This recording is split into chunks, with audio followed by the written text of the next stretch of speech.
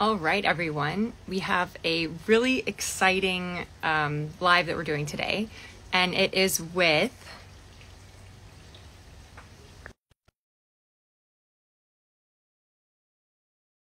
To be joining us now. All right, let's see if this works. Yay! Hi, Gabby. Hi, Mackenzie. How, How are, you doing? You? I'm great, thanks. Well, thank you so much for joining me. Um, for those of you who don't already know, Dr. Gabriela Asturias is my co-founder. I'm just going to call her mm-hmm. Gabby for the sake of this interview. Um, but Gabby is incredibly well accomplished in her own right. Um, she's currently a psychiatry resident at Stanford um, Stanford Hospital. How how would I say that? Stanford Medicine. Uh, yeah, Stanford Hospital, Stanford okay, Healthcare. Stanford, Stanford, Stanford Healthcare. There we go. Um, and I'm really excited to have Gabby here. Thank you, Gabby, for spending some time with me to um, talk about a topic that's very near and dear to my heart, which mm-hmm. is about when you have a loved one that's in the hospital for psychiatric reasons. Um, Gabby has spent a whole lot of time in the hospital on the therapeutic side, treating patients, working with care teams, and you know, as I come to this as someone who's been there with a loved one in the hospital, mm-hmm. and it's so overwhelming to have a friend. Um, I've helped a lot of people who've had loved ones in the hospital. Mm-hmm. And in talking to Gabby um, recently, uh, she shared so much insight about what you can do as a supporter to support someone um, that is actually helpful for their therapeutic team. And there's so yeah. much insight that I can't wait for you guys to hear. Um, so, Gabby, um, thank you again. And I want to start by asking you a question, um, which is that if you have a loved one who's been in the hospital for a psychiatric mm-hmm. concern, mm-hmm. whether they are suicidal, have attempted taking their own life, um, are experiencing mania, lots of different reasons mm-hmm. um, that you can find yourself in the hospital. What are the types of things that you can do to support them in their recovery as a loved one? Yeah, I think, well, thank you for having me, Mackenzie. I think, you know, what you said at the beginning, it is so scary to have a loved one go to the hospital. And especially, I think, psychiatry, you know, a lot of people are admitted involuntarily if, if they're a danger to themselves or to others. Um, and that can be really scary as a family member to to see your loved one or as a friend to see your loved one being admitted and and you don't know when they're going to come out what's going on and and i think navigating that uncertainty and understanding how things work on the other side, I think can help you think of ways to support your loved one. Um, so to start, I just want to say, if you get admitted to the hospital, um, before the hospital can talk to you, any other family member or friend, that patient has to give the hospital permission to do that, right? And so patient safety is the number one concern. And when we admit a patient, the first thing we ask is, who can we talk to about the care that we're giving you here? Um, and we did that to protect the patient because imagine like you were hospitalized and anyone could call and get information about you. That would be very scary as well. And so we always ask them who they feel comfortable with, which family members, it can be friends, it can be colleagues, it can be anyone that they have in their support system. And once we have that permission, uh, then we can talk to you. And I think, you know, loved ones can do two things while you're in the hospital. One is by talking to the treatment team, you can give us a lot of context sometimes you know and, and that's really common. We meet patients for the first time. No one none of the team members have treated them outpatient. We've never met them. We haven't seen them through weeks on end to go through therapy or just how they are in their day-to-day life. We only have what we saw in that moment and we're basing a lot of our decisions based on what we're seeing. And so i think when we can talk to when we have permission to talk to you either as a family member or as a friend you can give us a lot of context like what's going on in their life? What have you been seeing? What have this what have they been worried about or what have you heard them say uh, and what is worrying you about them? And that gives us a little bit more of picture to kind of start understanding that person and putting them in the context of their lives. So i think you can contribute a lot to their treatment by giving us context. Um, and then the second thing is most units if the if the patient gets permission they allow you to visit them. And you can come visit them and you can bring them certain items that are allowed that make the patient feel more at home and just you know seeing you there and having things that remind them of home can just make the environment more therapeutic for them um, oftentimes you can also if you can't visit one day you can call um, very commonly they allow you to bring them food, which I know is a big thing for people, you know, having a home cooked meal um, or a blanket or something that they always sleep with. Those little details can make a big difference in their recovery. And as their loved one, you can bring that to them. And just having you there and for them knowing that people are worried about them and that they're thinking of them can make a huge contribution to their well being. Amazing. Well, thank you. So many good tips in there. One thing I want to ask is you Mhm. mentioned that it's important for safety concerns because you can imagine a world where um, there could be a stalker Yeah. involved that wants to know where somebody is for security purposes. It's important. And, and that's context the hospital doesn't know. They don't know how to Mhm. navigate that. So they really just have to go off of what the patient says, I can, I, I imagine, or, Mhm. you know, how do you even, I guess, determine that? And, and I can also imagine a situation where the patient might due to what they're struggling with imagine that somebody is a stalker that's actually a close family member that just cares about them um, so if you do uh, in the event get denied let's say you're you know the person in the hospital has psychosis and they've decided that you're um, you know they're having a um, a situation where they they think that you're trying to attack Yeah. them and so they they deny permission for your, their um, care team to share with um, someone who could actually provide great context. Is there any way for that family member to or friend to provide the care team with information, even though they've been denied? Yeah, you know, it's it's a very tricky situation and and as a family member not being allowed to talk to your family members' doctors or even visit or call the patient can be very distressing because you feel even more confused about what's going on. I will say, in general, uh, doctors will err on the side of caution and always follow what the patient says. And I agree. There are a lot of instances that I've lived where a patient just doesn't want their parents calling for whatever reason. It can be due to what they're going through, or maybe there's something that happened with their parents in childhood that is coming up for them in this episode of psychosis. There's so many reasons why they might not want to give, you know, access to to what's going on to some family members. Um, and we always err on the side of caution, and we, we respect the pre- the patient's wishes.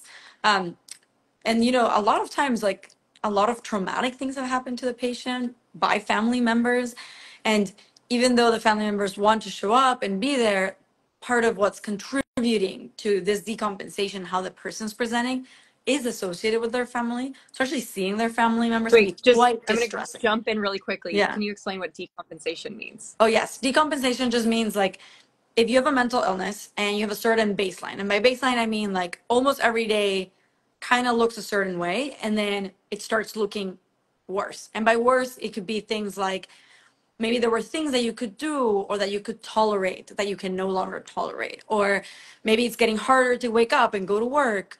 Or when you're at work, you're having more conflicts with colleagues, or maybe you're more irritable, you know, so things that are, and I'm not talking about, you know, we, we all have those nights where we don't sleep and we're irritable. I'm not, I'm not talking about that necessarily. I'm thinking more about, you know, is it something that is affecting your ability to engage in the things that you do on your day to day life? Like, is it affecting your ability to complete schoolwork, to go to school, to engage with people around you, uh, things like that? And if it gets to a certain point where, you know, you, you're causing problems, most people end up in the hospital and you can be brought in by different people. You can be brought in by yourself. If you notice this on yourself,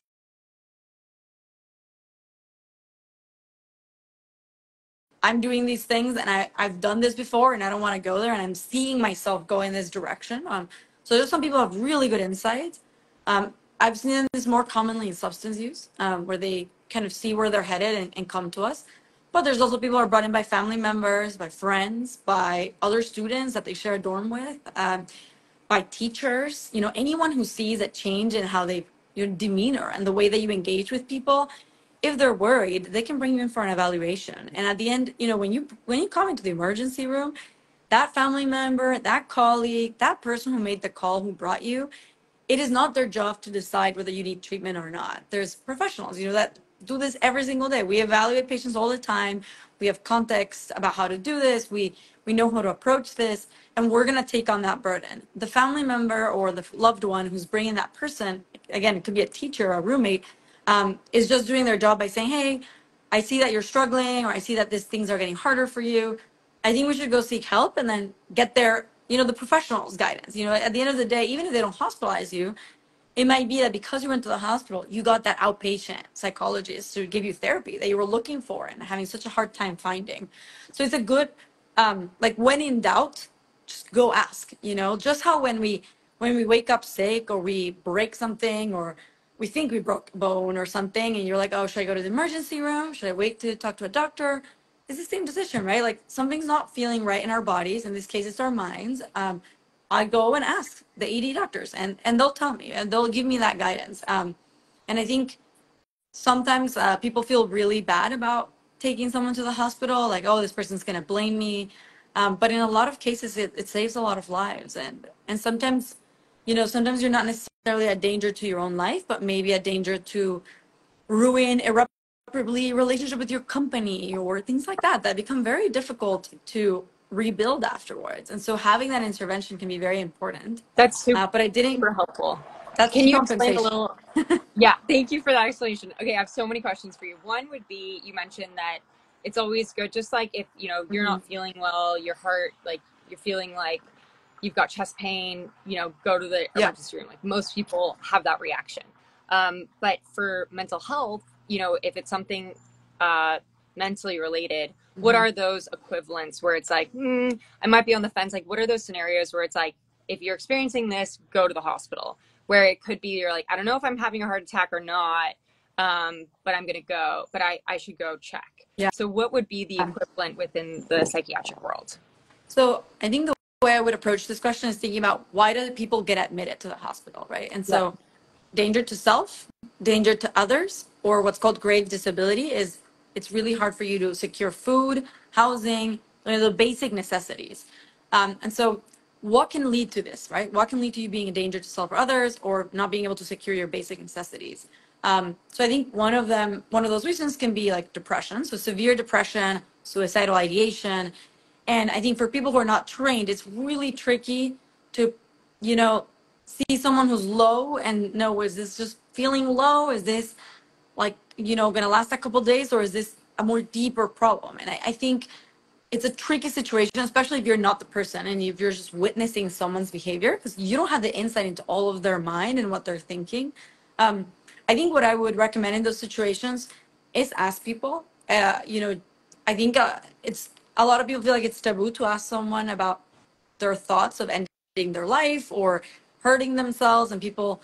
I've heard a lot of people say, "Oh, you can't ask that because then the person will think more about it," and it's almost like encouragement. And in reality, that's not the case. Uh, you know, asking someone about that, some people really want to be asked, and they really want to know um, that someone out there cares. And most people that are contemplating ending their life, you know, don't really want to end their life, but they don't see another way out of whatever that's causing their suffering. And so, I think if asking those questions um, and showing them that you're there for them and they're to listen and that they're not alone is really important.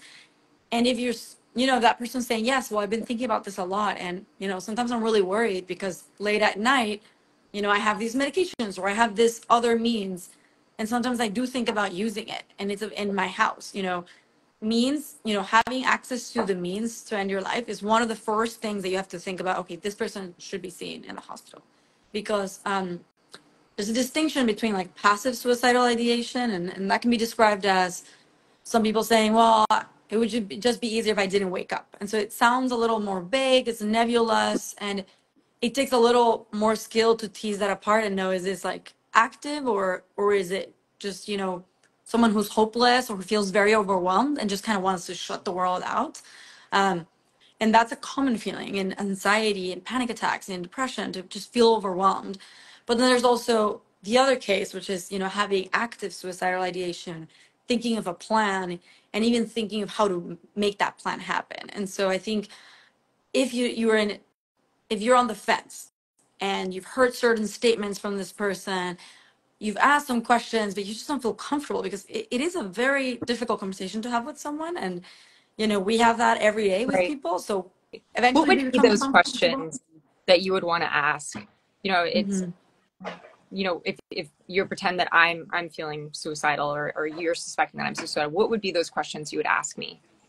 as a psychiatrist, I would ask or you as specific a questions. reporter? I Not, think as a reporter. I would ask, uh, you know, how long have you been thinking about this? Uh, I would ask, how often are you thinking about this? Is this more like just yesterday I had this thought because this happened, or is it well, actually I've been thinking about it for a whole month, um, and very frequently. You know, you're trying to get a sense of like, is this something that that's been going on in their mind for a while? Are they thinking about it very deeply? Um, another question you can ask is like have you thought about how you would do it how would you go about ending your life and that i think when people start giving concrete answers to how they think about ending their life that's when i would like my threshold for that would be really low and it would be like i think we should go talk to a professional and get you some help and the person may or may not want you to do that and so that's another thing you have to learn to navigate um, but if someone has thought about how they would do it and how they would get that and i mean things like saying I would do it with pills or I would use a gun and I actually have a gun in my house or you know there's a lot of uh, different ways and if people have concrete thoughts about that my re- reaction to that would be like get them help. Um, Right. or always err on the side of caution and even if they have not thought of the means but it sounds like they're thinking about it every day and maybe they're drinking as well and in, in these state of mind when they're drinking they think about it even more. Uh, people can be more impulsive and so i would also have a low threshold for that and think okay i think we should go get you some help. And you know going to the hospital doesn't always have to be like an abrupt like violent experience you know you, you can go with the person. You i'll sit with you. I'll wait with you. You know we'll see what they say. We'll see what they suggest you know? And i think um, a lot of people fear taking people to the hospital because you hear things and you know being hospitalized against your will sounds really scary. Um, but to me the alternative sounds scarier. I think having you in this world is more important. And i think anyone who loves that person and who's around that person should do everything they can to prevent their loss. And so i think my threshold for that is low and, and i would always try to err on the side of like calling someone. Another thing you can do if the person doesn't feel good about going to the hospital maybe there's a lot of hotlines you can call and just you know calling the hotline together sharing what the person's told you and helping them mm-hmm. open up about it. The hotline can also help you guide yourself into okay is this person someone that should go to the hospital or not? Because it's a, you know you're not trained you're never going to be perfectly trained how to do Right. this this is why we train for years. And so ask the questions. Don't be afraid to talk about it but always err on the side of caution and, and either call a hotline or go to the hospital. Right. and this is for suicidality. Another reason to go to the hospital would be psychosis right? And and manic episodes and in bipolar disorder. And i think those are a little sometimes can be very easy to detect and sometimes can be very tricky. So you know things that you can notice especially manic episodes you know people talking really fast. You can't interrupt them. You can't get a word in. Uh, a lot of irritability uh, much much more than than you've ever seen them in their normal day to day. Um, seeing them maybe talking about things that you've never heard them talk. Like they're gonna be, build, I don't know, like oh, I quit my job, I'm gonna write this book, and suddenly getting really involved in a humongous project that you've never heard them speak about, or not sleeping, a big sign. If you literally, if they're not sleeping at all, also very high likelihood that they're in a manic episode. Um, to be honest, like manic episodes are quite obvious. If you've seen a person every day, you're gonna see that they're worked up, that they're not sleeping, that they're you know very, you know they're going at a thousand speed an hour. Um, I think in those cases, it's really important to just take them to a crisis center. Um, And I can imagine it might be difficult for somebody who's having it is is actively in psychosis or is having a manic episode to encourage them to go and get help or to go with you to a crisis center could be challenging. So what do you do in that situation if you identify that somebody or or even in the situation where maybe those are two different things to talk about, but is is actively suicidal, they have um, they have the means, they have intent, and it's at a threshold where you feel like this is we need to do action here, um, but they're being resistant. What do you do in those situations? Yeah, I, I think if they're being resistant, I would prioritize their safety. And, you know, there's ways to take them to the hospital that don't require you doing that legwork. And so you can always call the police uh, or paramedics. They're trained to do these kinds of evaluations and bring people in. Um, I know that word police can sound scary, uh, but again, I think the alternative is scarier, So right? that And me picking up the phone if I'm in the states and calling 911? and Literally, then talking yes. to the dispatcher about the situation like i'm here. I have someone i think is having manic episode. Here's what i'm observing or i think they might be suicidal. When you're in a, a more urgent situation like that where you're pretty sh- that you're you have a strong feeling they might be having a manic episode um, having psychosis or you you have Mhm. you know, high means high intent should i be calling a crisis? Should i be calling 988 or should i be calling 911 I think if you're talking about suicidality, then I would call 988. If you're talking about um, other the other cases like psychosis and stuff, I would just call 911. Um, because 911 will send someone over that can evaluate and put you on a hold. So they are allowed to put you on a hold and take you to be evaluated to the hospital. Um, and you know, again, holds can be scary. You know, the idea that they're taking you against your will. Um, but the whole concept of a hold is to ensure that as I'm transporting you to get evaluated, you don't you don't change your mind, right? If, if a police were to come here and convince you that you should get evaluated, which is really hard actually, when people are in a manic episode or are having any kind of psychosis that can happen with different illnesses, um, it's hard because your perception of reality is changed and you can have certain hallucinations or even paranoia around certain elements that can remind you of a hospital, remind you of police. So it can be the scariest thing in the world to you that they're asking you to do this because it can be associated to other things that that are happening in your brain and that feel true to you. So I do think that in those cases, as a layperson, I don't think you should take the responsibility of, you know, taking that person by force in a car. Like that's completely unrealistic. You can hurt yourself, you can hurt them, it can affect the relationship. So I would just call 911 and they will do an evaluation. They can put a hold and they can take that person to the hospital. And then the moment they arrive in a hospital, a psychiatrist has to evaluate them. And if they're if it, it's inappropriate and that person doesn't actually have to be in the hospital, they will lift the hold and that person can go home. So just because of the fact that you might have been put a hold in transportation doesn't mean that means necessarily that it will be continued. Does that make sense? Because when we so hold in the U.S., every state does a little differently, but the first hold, at least in California, it's called 5150, and it lasts 72 hours. But the way we think about it is we're evaluating you every day. So if you're doing better in one day, we will release you. I mean, our goal is not to keep you for the sake of keeping you. Our goal is to stabilize you, to optimize your medications, to get you the treatment that you need. And our goal is always to get you back out because at the end of the day, we want to help you live your life. And the way to live your life is with society, right? And if you're completely sequestered from society in a hospital for a long time, you you might be doing great in that setting, but the moment you get out, have access to the internet, talk to people again, and just interact with other people, and you can get a lot sicker. Well, that's not ideal either. And which this which is why when we hospitalize you, a big part of that hospitalization's goal is to get you to your next step and and get you stable enough to go to that next step engage with treatment engage with therapy and stuff like that. And so our incentive is not to keep you longer than you need. It's to keep you the amount you need to be stable enough to continue on that healing journey. And so um, again i think err on the side of caution. Call 911 get them to evaluate the patient. Take them and see a psychiatrist. It's not your job to evaluate them. And if you're truly afraid for someone's well-being i think the best that you can do is help you know take them to people who've trained to do those evaluations oh i can't hear you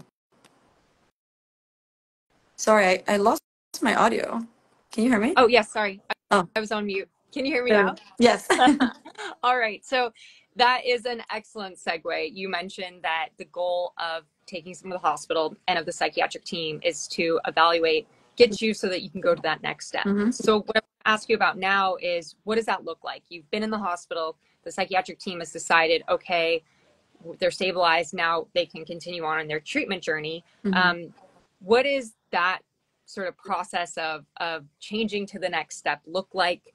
Um, And I and yeah, let's start there. Yeah, I'll tell you theoretically how it's supposed to work, and you know, it will be very different in every hospital because different hospitals have different Right. resources. But in general, uh, you can be hospitalized for psychiatric reasons involuntarily and voluntarily. Not every hospital or place has a voluntary admission for psychiat- psychiatric reasons. Um, so most of the cases will be involuntary. And again, you can only be hospitalized if you're a danger to yourself, to others, or if you can't secure the basic things uh, for yourself, shelter, food, etc.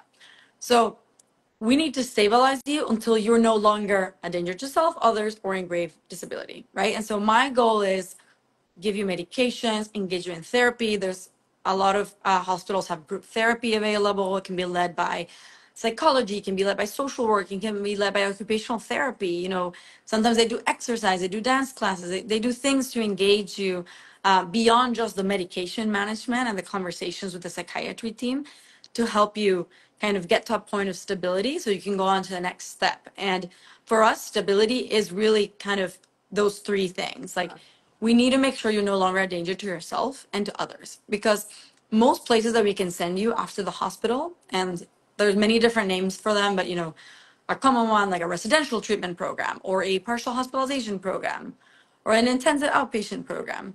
Um, these are some names of, of places we can send you after the hospital a lot of them, not always, but a lot of them exclude people with active suicidality.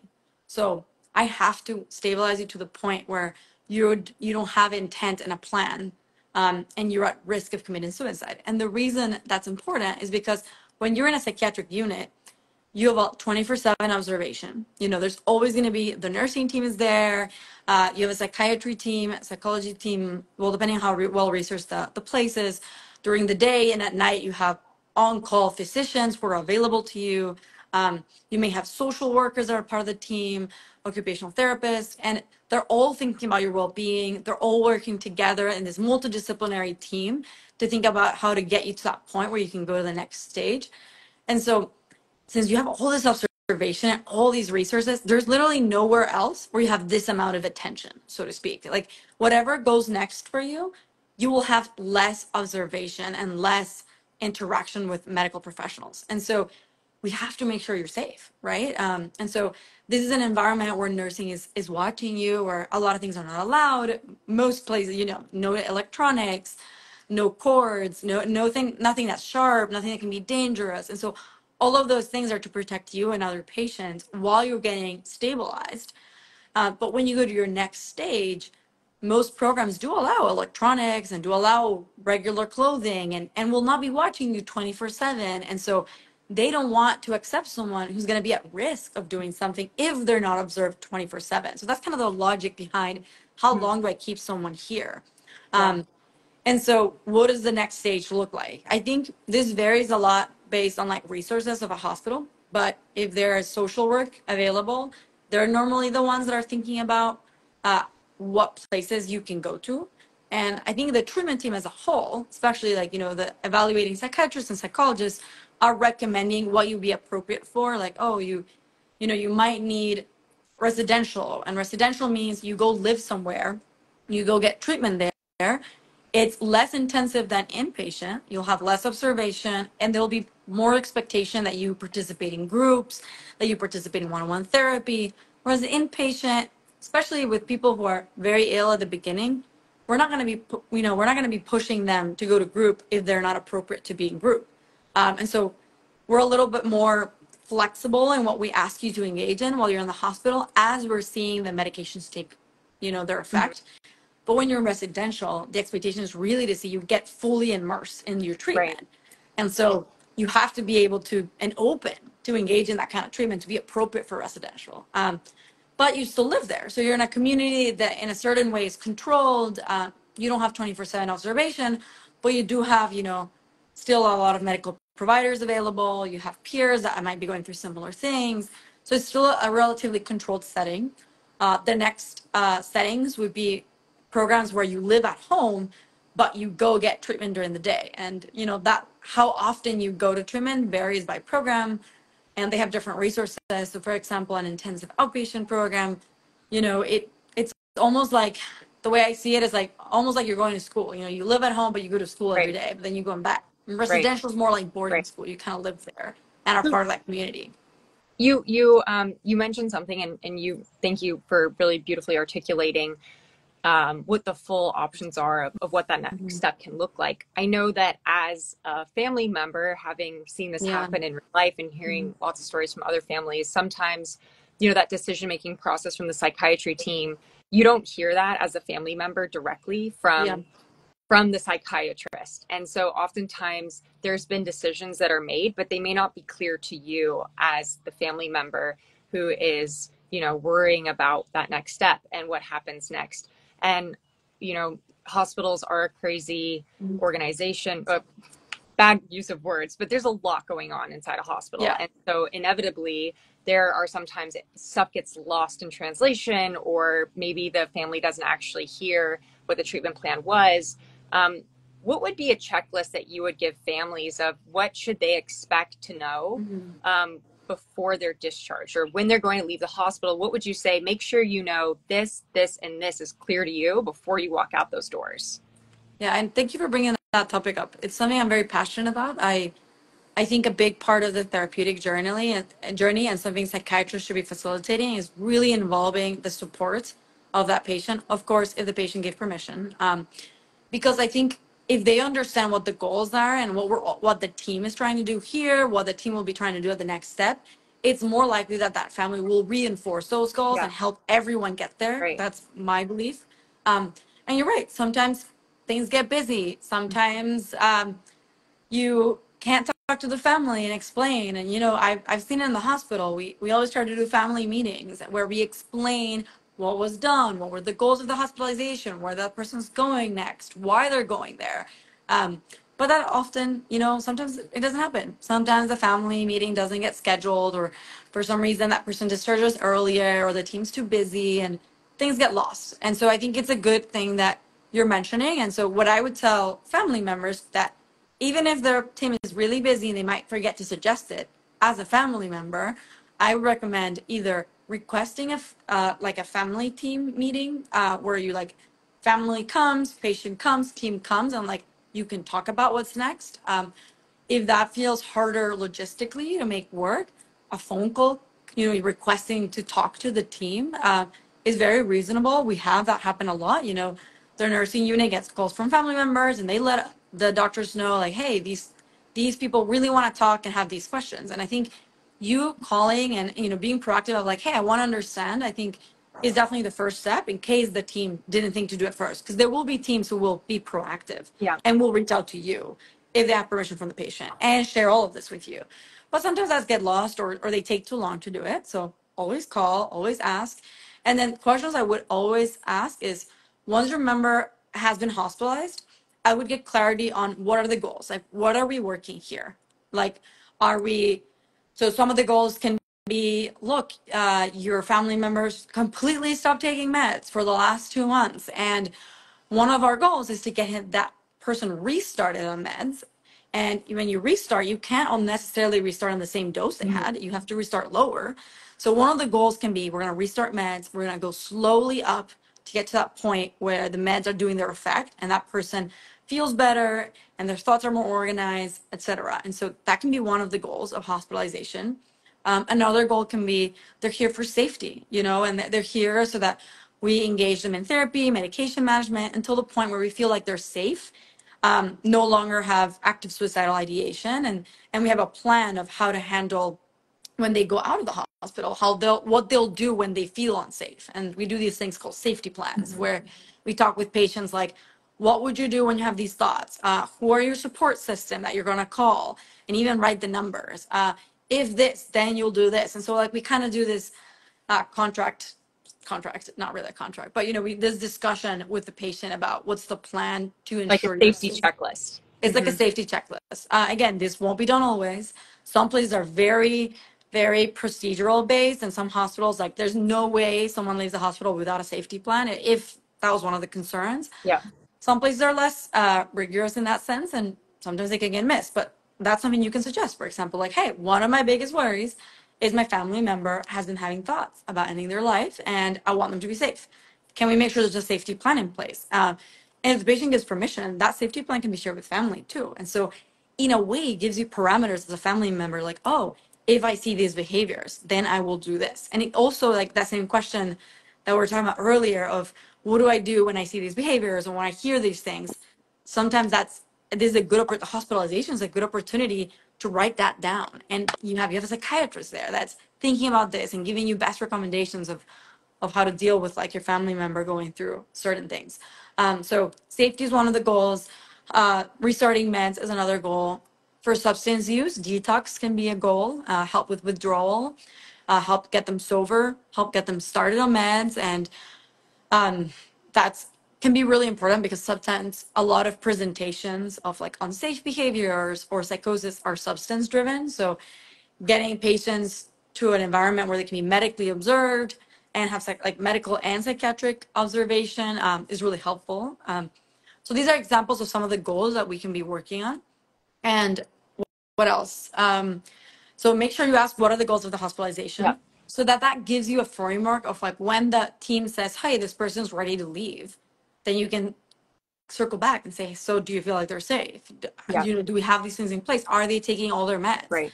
I, are they every because one thing you should know is that when you're hospitalized involuntarily, you still are voluntarily being offered meds Hmm. unless we put an additional thing. So if I hold you legally, um, that doesn't mean that I have the legal right to give you meds without your consent. You still have to consent to all the meds. So when someone's in a 5150, as a doctor, it's my responsibility to go talk to you and say, hey, I want to prescribe you these meds, and I'm going to tell you exactly what they're for, uh, why I'm using them, and then I'm going to have some meds that I might use in the event that you become agitated or that this happens or this happens. And so we go through all of that, and you sign whether you consent. And until then, we can give you meds, and you can actually still refuse them. Um, the only way you can give people meds without their consent is if you do something called a Riese hearing, and that's a conversation for another time. But just know that like getting people to want to take the meds, understand their importance, is a huge goal of hospitalization. That's great. That's super happy. Okay, so just to sort of make sure I understood you properly, the things that you want to make sure that you have in place is you want to understand what are the goals. So you want to ask the care team, what are the goals, um, so that you can follow up on do we feel like these goals were met, um, and then would you want to ask them too about you know what is their prescribed now that you're ready to leave, um, what what would they like care to be um, leaving the hospital? Yeah, I think you can definitely ask them, okay, we had goals for this hospitalization, they've been completed. Uh, what are the new goals? Right. And I think that way they can explain their reasoning of why they're recommending a certain program. Because again, the terms can be really weird or confusing to someone who's unfamiliar with the PHP, IOP, Right. residential. Um, more than the terms, ask the why. Why does this my family member have to go here? Or why is it recommended they don't have to go? Why is it recommended that they go here? Yeah. Because if you understand the why, I think it's easier as a family member to reinforce that idea of going there and you can all be on the same page. Um, and, you know, there will be cases that once they're done with the hospital and are taking their meds and uh, maybe their psychosis has completely resolved, a lot of them can go home and can go to outpatient care. So not everyone has to go to like a residential or an IOP. Some people are appropriate to go straight home. Um, and and sometimes like the help you might get from a social work on the team, it might just be getting forms filled out so they can take some time off work or some time off school while they, you know, adjust to being back home, establishing routines, going to their therapy and psychiatry appointments, outpatient. And so hospital teams can also be very helpful in like navigating other sides that are like practical about life, you know, schooling, work. Um, and so also communicating that to the team, like, hey, this person um, is currently enrolled in these programs. Can you help us kind of explain why they need to take a leave of absence or things like that? Uh, and so you're, you're the team in charge of your, your family member will definitely be very helpful in that regard as well. And it's my understanding too, and correct me if I'm wrong, that the hospitals oftentimes, you know, if transportation is a concern, and they've Mhm. recommended that you go to an IOP where you know you're not you're not staying there. It's not a residential treatment Yeah. program, but you know, transportation may be out of the question for you. Like you don't have a car.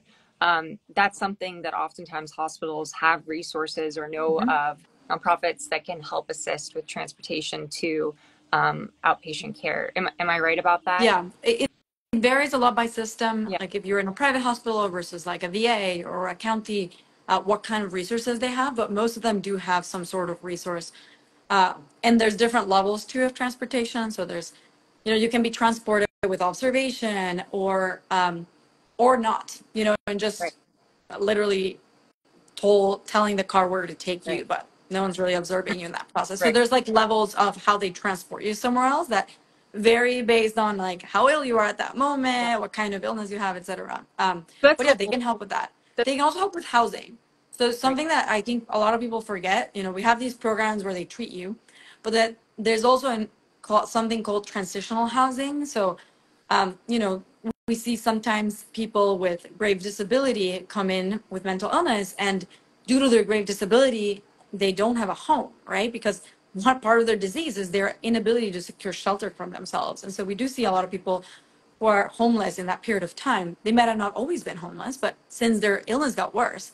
Um, and so there are places that can you can be referred to that take people that are transitioning out of the hospital and that give you a home and then help you find housing.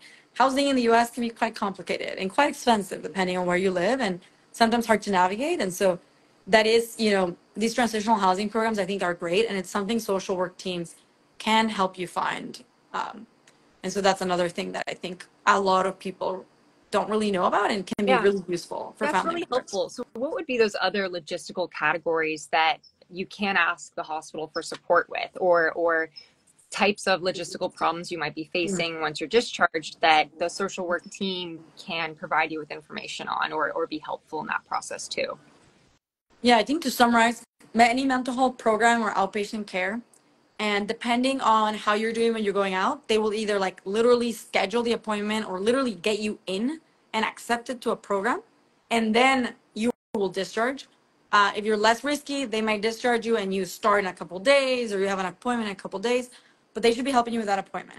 Second thing is if housing is a need, they can help you navigate the resources that the government or your insurance has for you. Um, they can help you with uh, transportation. They can help you also with insurance. So, and by that I mean, one thing is to deal with your private insurance, is to make claims and figure out what they cover and what they don't, so they can guide you for the next steps.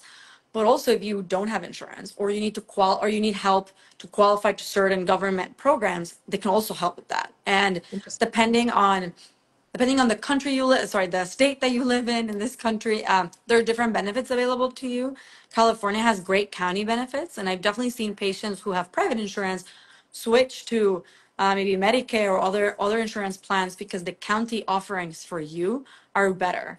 Uh, and so that guidance of understanding what is offered to you by the county and what kind of level of care they give you is something the hospital can can tell you about. And for certain, you know, and again, this will depend on what the state's available availability is for their population, but sometimes county offer case managers, so you'll you'll leave the hospital, but you have someone on charge of your care Wow. that is kind of helping you, you know, get appointments, and if they see that you're getting worse, that they'll help you get to the next level, and they're kind of you know, they're managing your care. So instead of just having that social worker in the hospital that you see when you're in the hospital, you have one that is assigned to you as a That's amazing. And so that is something that, depending on what county you're in, depending on the resources of that county, that they can help the hospital team, the hospital social work team can help you connect with those county programs and help enroll you in those programs. Yes. Is that the same for, let's say that I'm eligible for Medicaid, but I haven't enrolled in Medicaid? Can the They can hospital also help. enroll me in Medicaid as well? Yeah, definitely. Again, there will be settings where there's less resources, less social work, and they might be a little less involved, and they might just say, "Here's how you do it. Good luck." I have to be transparent. It, it won't Yeah. be, you know, it won't be in every setting that you will have social workers like literally Yeah. fill out the paperwork with you. right, Because right. I've seen this, you know, at Stanford, we definitely, you know, we have great teams, and I've seen social workers sit with you and like literally help you file paperwork to get leave of absence from Right. school, to get a case manager, to enroll you in this insurance, to get you these benefits. Like they can be very hands on, and and they might do it with you as a patient or with your family. Um, it, that won't be the case everywhere, but Right. I do think that at, and at minimum, you can ask to be pointed to the right direction. So as a family member, you can say, hey my family member I think would benefit from this, like a case manager. Do you know about where I can find out? Yeah. You know, and so just sending you the website, the links. So at least that level of guidance, I think you can in most places ask. For. That's really helpful. And then I guess my next question would be, you know, a lot of times Mhm. obviously the psychiatric team is very experienced. They've seen thousands of patients. They can make decisions very quickly and feel very confident in those decisions. But being on the other side as a family member a supporter you've never had this experience before. It's so stressful and overwhelming to have your loved one who is considering harming themselves or harming other people. You know it, it can feel like decisions are made so quickly and that can Yeah. be really nerve wracking um, what what would you say to somebody who who just is in that position to a family member of you know like how can they possibly feel confident or know that that is the right thing in this moment for my loved one um, whereas from your perspective you've seen this a million times it's easy you know mm-hmm. what it is um, you know they're going to be fine so i guess what would you say to families what i would tell them is well of course i can't speak for every psychiatrist of and course. there's situations of situations but i will tell you that the way we're trained and how a lot of psychiatrists feel is they're very uncomfortable placing someone on hold. It's a really big decision to make. I don't think it's something that, even if you've done it a thousand times, we take lightly, right? Because the one, like the main reason I would do that is if you can hurt yourself or someone else, you know, and ultimately that's what we're trying to prevent. And Um, someone being you put someone on a hold, that means you're involuntarily um, um, admitting them to the hospital. Is yes. Okay. Exactly. And I think hearing that your family member is on a hold can be very distressing. And the words of comfort that I can say is that we're trained to think that through and, and we don't take our responsibility lightly. I I can, you know, now as a resident, I can place people on holds. So I've been thinking about this a lot as a person. Um, and, you know, we, we think about that decision deeply before we do it. And I think I've heard of cases where holds have been lifted uh, by psychiatrists because things looked well and and a lot of bad things happen from that. And so I think what a psychiatrist is always thinking about is if I don't place this hold and you leave here today, will someone be hurt irreparably, right? Like, will you hurt yourself, a family member, or will, you know, will you be on the streets without ability to eat and get a lot of diseases? And, and you know, so I'm thinking like, if that's an if that's an option, I will put you on a hold because I don't. I mean, for me, living in a world where there was a probability that that would happen to you for the way you're feeling right now is not the world that I want to live in. You know, I don't want to create that situation for anyone. Right. Um, so I think, first of all, knowing that being in a hold is not a punishment. You know, you didn't do anything wrong. It's it's, um, our brains work in mysterious ways that we're all trying to unravel with how neuroscience advances. And I think sometimes we're, as humans, unable to perceive reality the way most people perceive it. And it's really hard to understand why we're being recommended to go to the hospital. And so we're going to resist it with all our might. And, you know, we might have delusions or hallucinations that feel very real to us. Mm-hmm. And, and, and that's something you'll have to remember. Like when someone has an auditory, visual, or whatever hallucination or a delusion, that is guiding a lot of their actions, it is very real for them. And they can be quite distressing. And a lot of them cause a lot of fear. And so I think sometimes when you see family members really fearful of being in the hospital and and they're calling you and they're telling like they want to kill me here, like I want to leave, like we also have to understand that these are people who are perceiving reality a certain way and what they're telling you is true to them. Like what they're representing their reality to you. And it can be very distressing as a family member to understand like is this actually something that is happening? Or is this something that um, you know that they're perceiving to be happening but it's not actually happening to my family member? So i think that's what's tricky you know hearing your family say things like that. Um, so i don't know. I, I think um, just trying to yeah i think trying to establish a good relationship with the doctors and try to ask them what are the goals um, is the most important thing. Because at least for me if i'm trying to put myself in the in the in the seat of like a family member of a patient, um, I, it's very uncomfortable to think that my family member who doesn't want to be in the hospital, because most people don't want to be in the hospital, um, is being made to stay in the hospital. Um, so I think one of the things that would be important to me is to be told why, right, and to be explained why. And I think that's why that goals conversation that we talked about um, is really important to try to establish with the care team, so that you hear like, okay, they're making my family member stay here. But why? Like, what are they doing for this person? So it doesn't feel like, oh, they're just locking them up. They're not locking them up for the sake of locking them up, right? There's a reason. And I think asking for those reasons can be helpful in processing the situation uh, that you're going through as your family member is hospitalized. That's really helpful. Thank you for those tips, Gabby. And, you know, I think too, my question would be, what about the flip side of that, right? It's, mm-hmm. you know, mm-hmm. so we talked about the vol- involuntary holds where you're being required to stay in the hospital if you know you may not want that as a patient but the doctors have determined that for your safety and maybe the safety of others that it's important for you to receive treatment. Um, you know, I think that things can be very intense and you can be suicidal and mm. it can be the scariest thing in the world for the family. You're in the hospital three days later, they're ready to let you go. That can feel and yeah. that might be me as a person but i'm like no please keep them there because i know they're safe there mm-hmm. and the thing as a loved one is you're so worried about their safety um, but it, it might be safe for them to leave and but that can be really mm-hmm. scary as the loved one to be like i how how are they how are they yeah. now three days later like it was you know end of it was catastrophic and then now we're okay to leave after only three days um, so mm-hmm. how how is it that the psychiatry team can feel so confident to make those decisions, just to comfort those families that may be shocked to hear that okay, it's totally fine to go back to normal now? Yeah, and I think I would caution to say that it might not necessarily go fully back to normal, whatever we define that to be. Um, I think let's go back to premises, right? Like yeah. as a psychiatrist, I'm thinking, are you a danger to yourself? Are you a danger to others? And are you unable to secure housing, food? You know, mm-hmm. And if you are no longer meeting those criteria, I cannot hold you. Right. Like I, legally, I literally, I would be doing something wrong as a doctor if I kept you on a hold when you don't meet criteria. Um, and so, but that doesn't mean you don't need more treatment, right? Yeah. It might be that, you know, we restarted meds. A, a lot of, I will mm-hmm. tell you, a lot of um, people on a manic episode with a couple of days of meds can see a lot of improvement.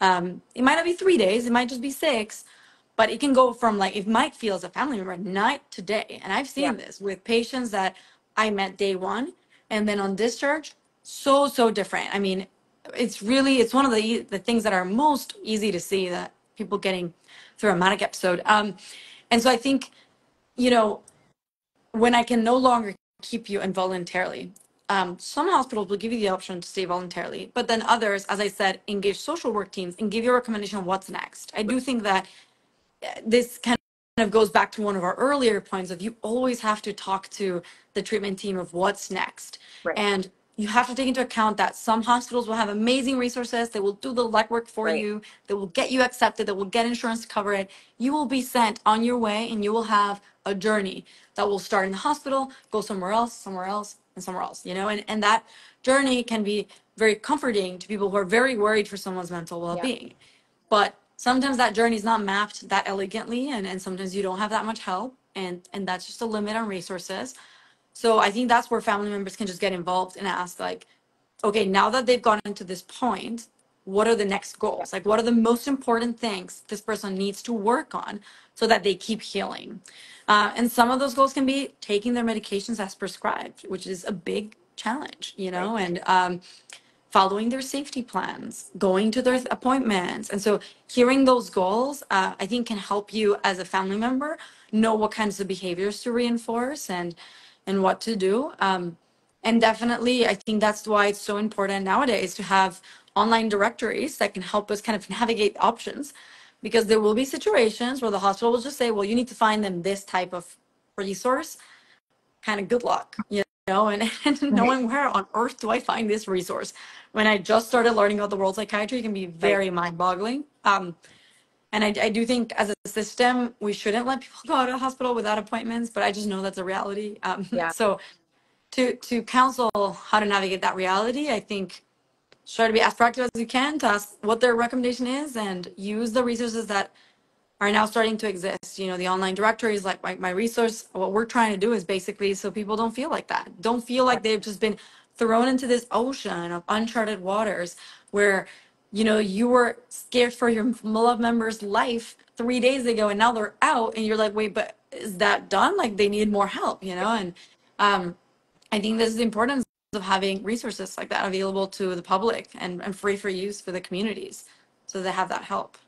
Well, thank you, Gabby. That has been so helpful. I think what I'm hearing from you at, uh, is the the key takeaways is mm-hmm. if you have a loved one who's hospitalized, first thing to accomplish is you want to clarify with their team um, what if you know what what is the main focus of mm-hmm. their stay here what are the goals that we have for um, treating this person to when we know that okay it's ready for them to be discharged and then when they're ready to leave um, what are the next steps and having a really concrete understanding of what does the care team recommend for what we do now that they're leaving the Yeah. hospital?